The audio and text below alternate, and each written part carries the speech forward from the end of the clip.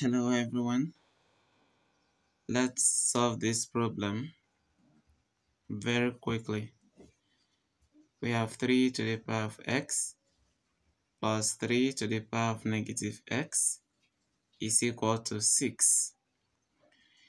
Um, the first step is this 3 to the power of x plus 1 over 3 to the power of x equal to 6. To eliminate this negative, I'm going to have 1 over everything. And then from here, we can now multiply everything by the LCM, which is 3 to the power of x. So we have 3 to the power of x multiplied by 3 to the power of x, then plus 3 to the power of x multiplied by 1 over 3 to the power of x and is equal to 3 multiplied by, sorry, 3 to the power of x multiplied by 6. Okay, so if I take a step further here, I will pick 3 and then add the powers. So I have 2x. then plus this will cancel this and I have 1 here which is equal to on this side I'm going to have 6 multiplied by 3 to the power of x. They're still the same thing. Now what I will do next is to rearrange this. So I have 3 to the power of 2x. Um, if this comes here, it becomes minus 6 into 3 to the power of x. Then I have plus 1 equal to 0. But remember that I can still work on this, so I have 3 to the power of x to the power of 2. Because I'm having 3 to the power of x in this place, I want to have it here. Now minus 6 into bracket 3 to the power of x plus 1 equal to 0. Now let y be equal to 3 to the power of x. So anywhere we have 3 to the power of x, we are going to write y. So here now, we'll be having y squared minus here we are going to have 6y then plus 1 equals 0. This is a quadratic equation that we can solve using formula method. And the formula method for this will be y equal to negative b positive or negative square root of b squared minus 4ac all over 2a. And then you should understand that a is a coefficient of y squared. Okay, let me bring it out. a is equal to 1 coefficient of y squared. b is equal to minus 6 coefficient of y and then c is equal to 1 that is the constant. And then from here you substitute directly into the formula. So that y becomes negative negative 6 because we have negative b there and b itself is negative 6 then we have positive or negative square root of negative 6 squared minus 4 times 1 times 1 because A is 1 and C is also 1. The whole of this will be divided by 2 times 1. Okay, now taking a step further, we're going to have y to be equal to 6 positive or negative. Okay, so we have um, square root of minus, sorry, minus 6 squared will give us 36, then minus 4. This will be over 2, okay?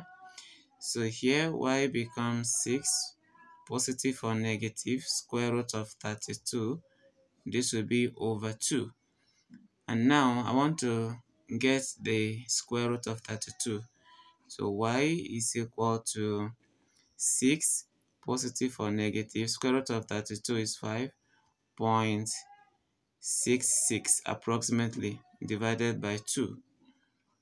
Okay, and then this means that y is equal to 6 plus 5.66 all over 2 or it is equal to 6 minus 5 okay 6 minus 5.66 all over 2 okay so this is what we have. And then if you add this up you have y. Okay let me just shift this up. If you add this up